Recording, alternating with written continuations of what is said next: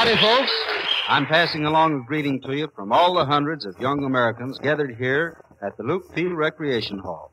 I know that many of you are personally acquainted with some of these men here this afternoon, and it's a pleasure to be able to tell you that they're happy and healthy and raring to go. They're training for the world's finest Air Force, and although the work is exacting and there's nothing more fascinating.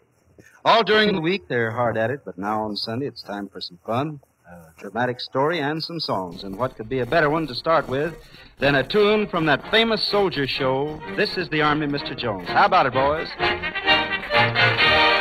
This is the Army, Mr. Jones. No private rooms or telephones. You had your breakfast in bed before, but you won't have it there anymore. This is the Army, Mr. Green. We like the barracks nice and clean. You had a housemaid to clean your floor, but she won't help you out anymore. Do what the buglers command. They're in the army and not in a band. This is the army, Mr. Brown.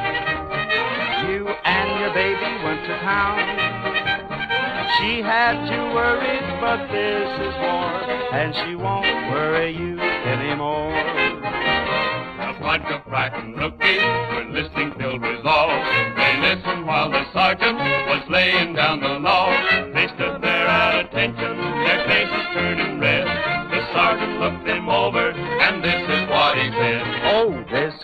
the Army, Mr. Jones. This is the Army, Mr. No private rooms or telephone. No private rooms or telephone. You had your breakfast in bed before, but you won't have it there anymore.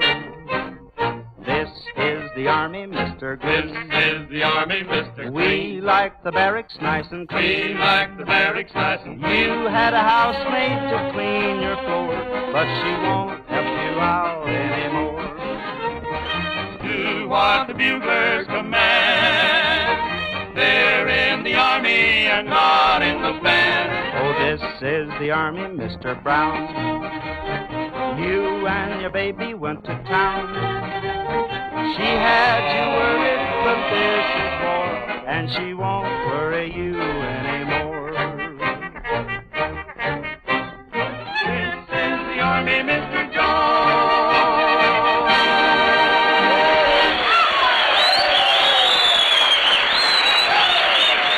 Well,